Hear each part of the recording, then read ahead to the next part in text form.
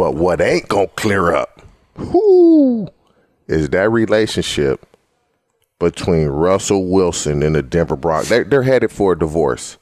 Right now, they separated. They just living in the same house. Divorce is coming shortly. Man, I knew it was problems when Sean Payton went off on Russell Wilson because I had never seen any coach go off on his quarterback like that ever on the sideline during a game. Right, right. Never. What do you make of what has transpired this week? Now, okay, he's been benched. Okay, we're going to Jarrett Stidham now. Russell Wilson comes out and says, "Oh yeah, they approached me after the Chiefs game, told me if I didn't push back my guarantees, they were going to bitch." What do you make of the situation that's going on with Denver Broncos and Russell Wilson? Man, when I first heard that, I was like, "Wow, man!" I, I was floored. I mean, I really was. And now you know, us as players, like we know the business, we know the things that go on behind closed doors in those walls. And now the public is getting a sense of how ruthless this business can be. Um, I don't remember a time where a guy would sign a contract and the organization and the team would come to him and tell him if he doesn't re- renegotiate his contract from an injury standpoint, we're going to bench you so you're not going to get your guaranteed money. So basically, Russell Wilson is a healthy scratch. They are not mathematically out of the playoffs. It's come so much of a business that you are willing to take money out of this guy's pocket because I guess you I guess you think he's undeserving of it. You guys signed the contract. Never in my never in your right mind would you say th- think to yourself as a player like man, well listen, you know, if I can stay healthy and, you know, play all 16 games, then, you know, I'll get my guaranteed money in the offseason. Not for one second do you think that the team is going to bench you on purpose just so you don't get paid. And man, that it, it, it for, for, Russell Wilson to come out and say what he said uh, yesterday, a couple days ago, that the team came to him and they told him after the Chiefs game, after you beat if, the Chiefs. Yeah, if you don't renegotiate your contract, we're going to bench you so you don't get your guaranteed money. And he's he, he's able to play, but you you you, you take him out of the game. You uh, name him. He's not the starting quarterback and the only way that he cannot get his money is that he is physically unable to throw a football. And the only way for them to do that is to take him out of the game. I remember uh, uh, this may have happened, you know, not to this degree, but I've seen two instances happen with two players who I have a lot of, you know, admiration for. Um, one was Charles Woodson, and the other one was Donovan McNabb. Because I'm saying to myself, you look at these Hall of Fame worthy gentlemen and where they were in their career and what they gave to those organizations, and to be able to be let go, obviously, you know, Charles Woodson going to Green Bay, and obviously, you know, Donovan McNabb, I believe he went to Washington after this transpired. But both of these guys had $10 million signing bonuses. I mean, roster bonuses in uh, in their contracts in the last year of their deals, ten million dollars, and they would do this roster bonus in March. And the Oakland Raiders at the time and the Philadelphia Eagles chose to move on from Charles Woodson and Donovan McNabb over ten million dollar roster bonuses, who guys that you thought would never leave an organization. And that was one of the instances that that I saw as a player, and I started doing my contracts different. Um, I didn't receive any roster bonuses, you know, in my contract after I have seen teams do that to them because I'm like, well, damn, if they can do that to Charles Woodson down to damn, they can damn sure do it to me. So I started doing my contract different moving forward, try to get you know, much as my guaranteed money in the first two or three years. I never had a roster bonus going into the fourth year of my deal because when I saw that, it's like, you know what? All that money is is is figured into your contract. I'm I'm gonna never see it, And that that was I was afraid of. But now I see this, John Elway, we've taken $37 million out of this man's pocket from a former player that same, played the same position for this organization. Man, it's the GM George Paton, and let's let's no, just call it what no, it is. It's Sean Payton. That. No. It's Sean Payton. No, and I don't believe Sean. I don't believe Sean what? Payton gets in gets involved with a contract with Russell Wilson before he even got there. I don't believe it's Sean Payton. Listen, the way. Let me just say this: Russell Wilson has he's playing good football this year. He played terrible football last year, but Russell Wilson was never the quarterback that was going to be the reason you win big. He wasn't that in Seattle. It was more of a team effort than it was, okay, let's get on Russell's back and he's going to carry us.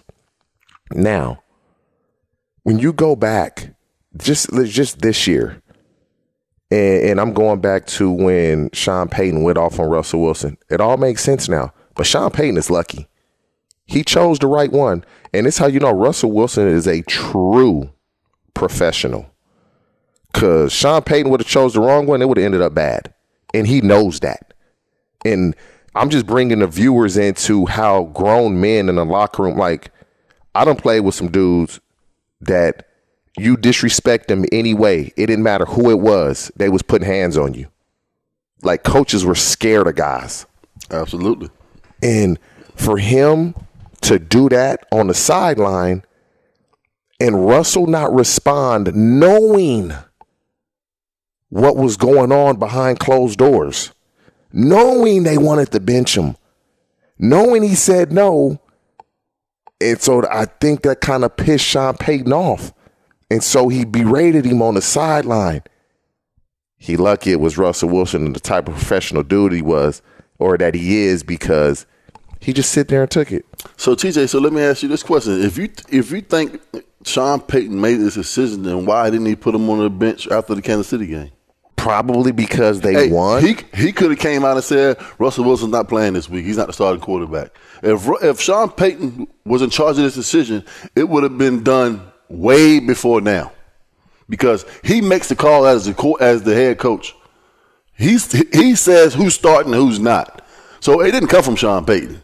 But Sean Payton is running the show on that team. We all know that. He's running the show. We know that. Like Sean Payton has the power. He is running that show. And, and so it is and, and, and I'll get it. I get it. Maybe Russell Wilson isn't operating the offense the way Sean Payton wants. That's fine. Football wise, he may not be playing the way Sean Payton expects him to play and wants him to play. That that's fine. But to disrespect him the way that he did on national television, like, yeah, you're the coach. And technically you're our boss. When I say our, the players. But it has to be a respect. I, I'm telling you, when I saw that, I was like, wow. Like I, I don't recall ever seeing that because I know some of the players that I played with and I know how crazy these dudes were. And I'm like, man, he lucky he didn't do that to the wrong dude. And Sean Payton can be fiery. And, you know, that was our generation of coaches. You know, they get in your face, they yell at you, they cuss you out. And now we're seeing a generation of uh, coaches that they don't do those type of things. It, it's more of a, uh, let's work things out, let's talk type of thing. And so for Russell Wilson, yeah, they're separated right now. The divorce is coming very, very soon. It's now where can he land on his feet? What does Jarrett Stidham do? Um, last year when the Raiders, Jarrett Stidham is like, this just must be par for the course for him because the Raiders benched uh, Derek Carr, and if I'm not mistaken, Jarrett Stidham's first start was against the 49ers, and he went crazy. They lost.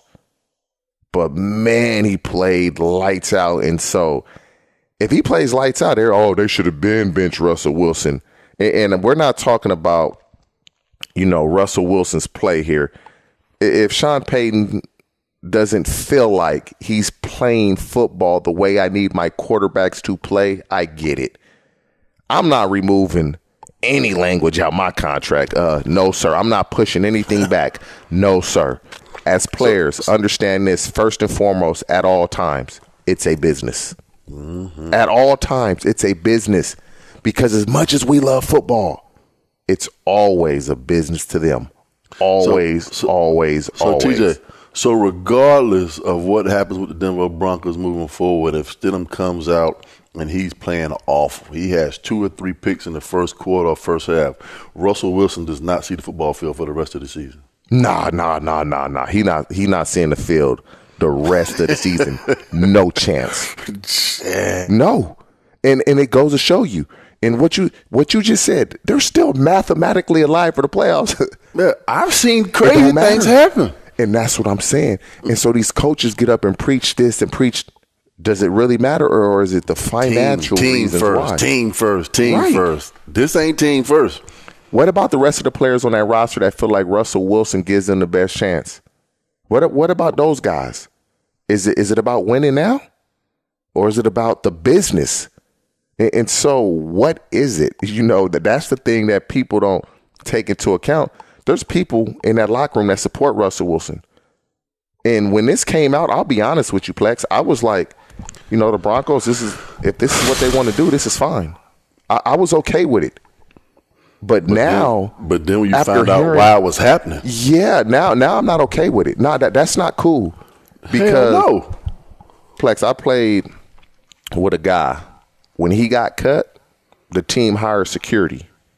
They were scared of him. They were scared to cut him. They hired security. That when they went and told him he was being released, security was there, present, because they didn't know what he was gonna do. Mm-hmm. I'm t- like, and the the people that are listening, I don't think they understand like how out of control some of these dudes be. Oh, you gonna cut me? Oh, okay, I'm gonna tear this thing up then. Mm-hmm. And if you in here, you part of what's gonna get torn up.